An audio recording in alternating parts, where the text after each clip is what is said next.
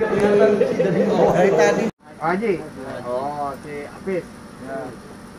Nah, di situ udah berapa lama? Yang yang sudah seminggu ada nggak? Ada. Saya yang Satu minggu. Tiga orang, empat orang. ada yang ada yang tujuh tujuh hari.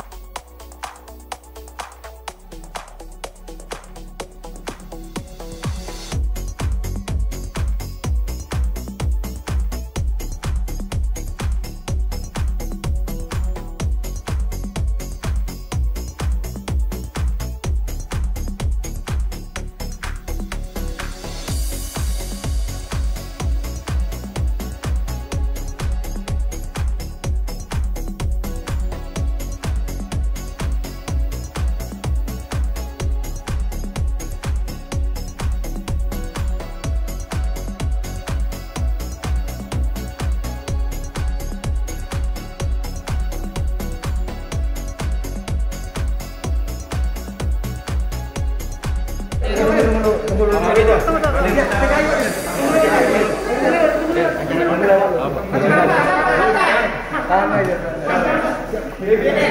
dikit pak, mukanya nggak kelihatan ya. Ya, sebentar. Ya. Pak, satu. Pak, digopong. Jangan nangis, Pak. Pesawat. Pesawat dari Lombok ke Jakarta Jakarta Pinang Oh, berarti transit Jakarta. Ya. Langsung ke Batam. Oh, kotanya Pinang langsung. Lanjut Pinang langsung ya. Semuanya itu berapa biayanya? Itu langsung kita langsung Haji. Oh, si Apit. Nah, di situ udah berapa lama?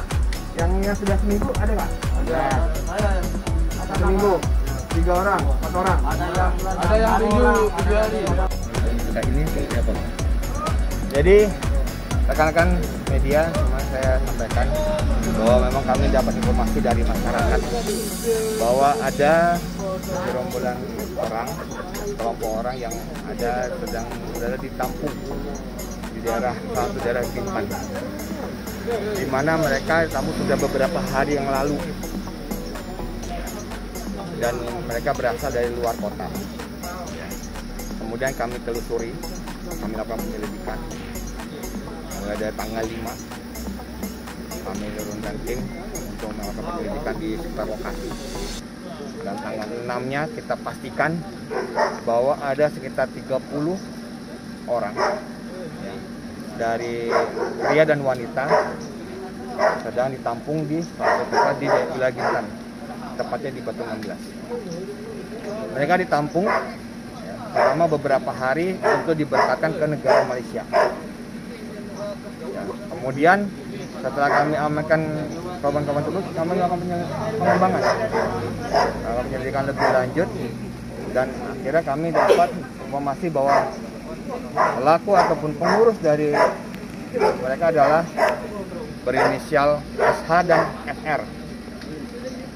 Dan kami juga sudah melakukan penangkapan di mereka di tempat kediamannya, di mana kediamannya juga tidak jauh dari tempat penampungan tersebut. Memang tempat penampungan itu disewa oleh mereka untuk menampung orang-orang ini dari warga sekitar. Disewa sekian juta untuk menampung mereka sampai hari keberangkatan. Dan rencananya pada tanggal 6 pada saat kami lakukan penangkapan terhadap tersangka, tanggal, tanggal 6 itulah rencananya mereka akan diberangkatkan sekitar pukul 10 malam. Tapi pada saat jam 12.30 kami berhasil mengamankan mereka semua dan tidak jadi diberangkatkan ke negara Malaysia.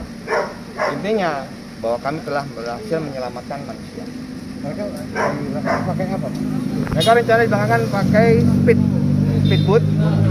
Tapi lagi, nah ada waktu jenjang waktu itulah dari pelaku-pelaku itu sedang mencari speedboat yang akan digunakan oleh mereka untuk membawa para calon pekerja migran ilegal ini.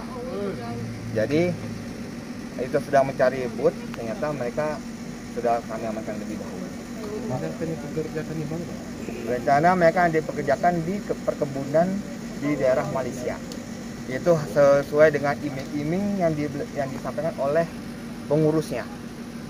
Di mana pengurusnya itu memberikan iming-iming mereka dapat gaji sekitar 4,5 sampai 6 juta satu bulannya dan mereka bekerja di perkebunan. Dan kita tidak, tidak tahu. Mereka tidak tahu kebun mana. Apakah itu kebun sawit kebun sayur dan sebagainya. Karena itu menentukan semuanya ada agensi dari salah satu sindikat yang ada di Malaysia. Sindikat agensi eh, perdagangan orang ataupun pekerja migran ini sendiri. Secara ilegal ya ilegal. Bukannya yang resmi. Pak, mereka ini tahu Malaysia itu sekarang ini sedang lockdown. hasil dari kita bertanya oleh mereka dari hati-hati kita pelan-pelan bertanya oleh mereka. Mereka mengakunya tidak tahu kalau Malaysia sedang lockdown.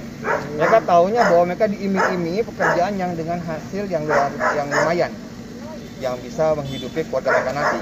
Bahkan mereka saja mau dan akhirnya harus rela meminjam sana sini bahkan menjual barang miliknya dan juga menggadaikan barang miliknya untuk bisa mendapatkan uang sehingga mereka bisa berangkat kemari. Itu diberangkatkan ke Malaysia Rata-rata berapa, Berapa? Berapa?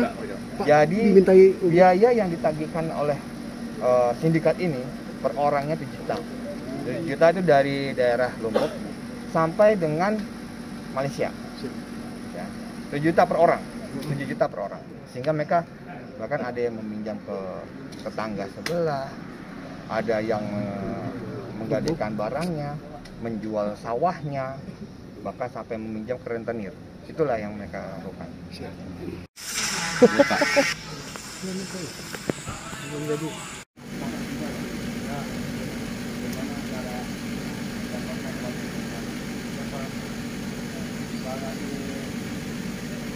Uangnya sendiri. Pasti pinjamnya rentenir kemudian gadai jual barang. Betul ya? makanya tapi sana belum tentu kerja ujung-ujungnya ada yang ditangkap. ya. Silakan nanti. Pak Dadi mana? Nanti teman-teman media mau wawancara. Ya.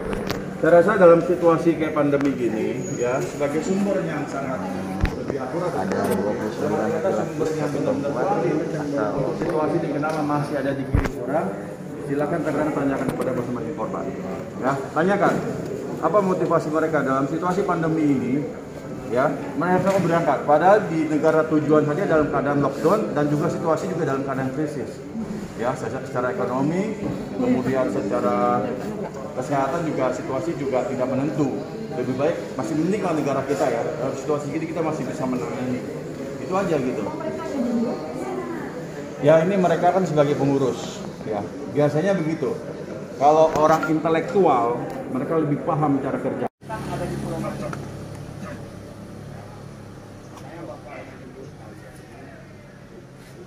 kalau memang ya, mungkin saya bisa Terima kasih Anda telah menonton informasi dari Warta TV. Jika Anda tertarik, silakan subscribe, like, comment, and share.